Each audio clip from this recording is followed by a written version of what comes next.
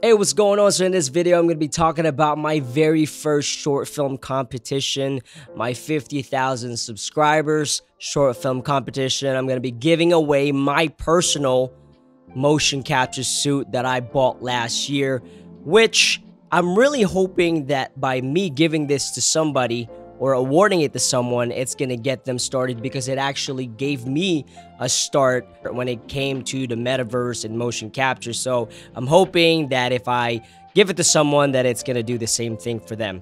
So I'm not going to be giving a lot of details about the short film competition yet, but what I'm going to tell you is going to be a CG animation. It doesn't have to be done in Unreal. You can do it in Omniverse, iClone, Maya, Blender, doesn't matter. But just a couple of rules. You can't be a studio to participate in this competition. You have to be at least one person or maybe two people, but that's pretty much it. Secondly, you have to be a follower in my Instagram. Now, this is big because whenever I do collaborations, I use Instagram a lot. So I would like to actually grow my Instagram account as well. And then obviously, you have to be subscribed to JSFILMZ.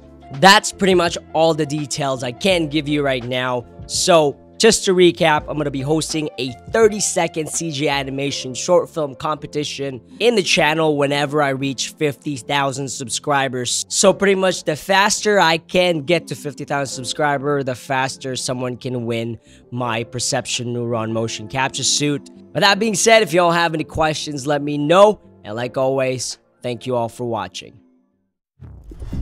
So you want to make a movie in Unreal Engine 5? But you don't know how. Today is your lucky day.